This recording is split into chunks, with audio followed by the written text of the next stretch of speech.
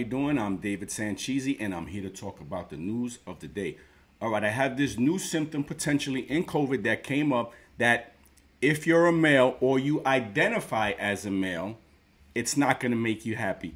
Most of us can deal with the shortness of breath, the stuffy nose, the sore throats, and the other things that come along with COVID.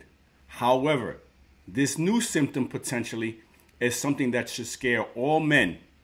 And I'm going to read it to you right now. This is a claim by a guy who claims his penis shrank by 1.5 inches from COVID, and the doctors say it is real. Talk about getting the short end of the stick, no pun intended, as if contradicting COVID wasn't bad enough. A dismayed man now claims that he lost a whopping 1.5 inches from the length of his penis as a lingering result of the vile virus. And if you've been following the COVID, the vaccines, we've all seen the different things that come into our sexual parts as far as men. You saw when Nicki Minaj said that a friend of hers had swollen testicles. We've seen now how in another part of the world they claim that Viagra can help heal certain symptoms within COVID as well. So now we have this. I'm a heterosexual man in my 30s, he said anonymously only referring to self have, himself as coming up short. In July of last year, I, con- I contracted COVID and was very sick. When I got out of the hospital, I had some erectile dysfunction, he claims. The purported once well endowed man went on to explain that prior to his diagnosis, he had boasted an above average tool size. But much to his chagrin, his formerly impressive private, private parts have since lost their luster. He claimed that a medical advisor had attributed his pecker problems to vascular damage caused by COVID and was warned that the impairment was likely permanent. So, in other words, if you get this, you're going to permanently be a half an inch or one and a half inches shorter.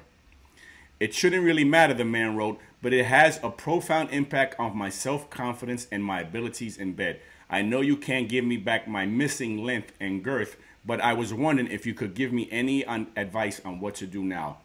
In response to the dude's desperate plea for penis help, Dr. Charles Wheeler, a urologist and director of men's health at Albany Medical College, confirmed the rare but real havoc COVID can wreak on a man's unmentionables.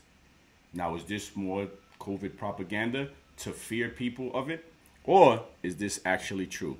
You can connect the dots, the physician told Slate of the virus correlation to dingaling disorders.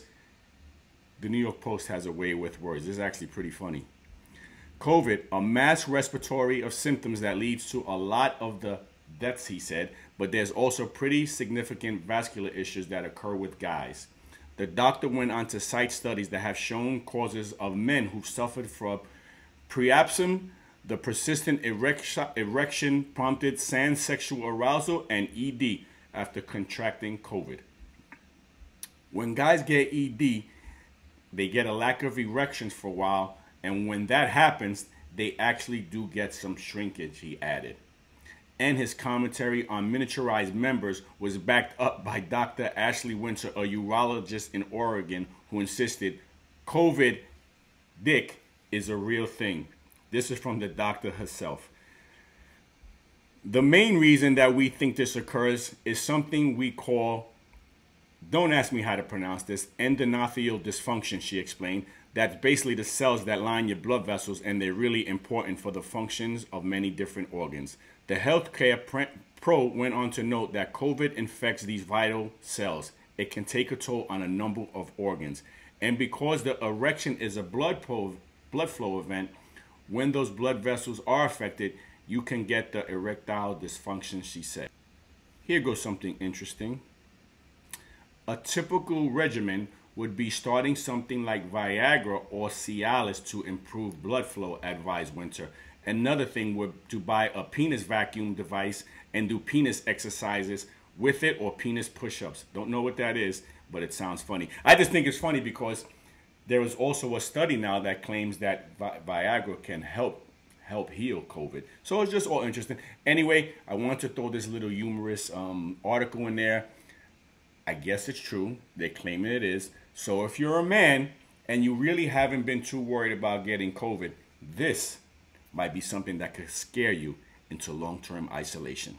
Anyway, thanks for watching. God bless America, and God bless all of you. Talk to you soon.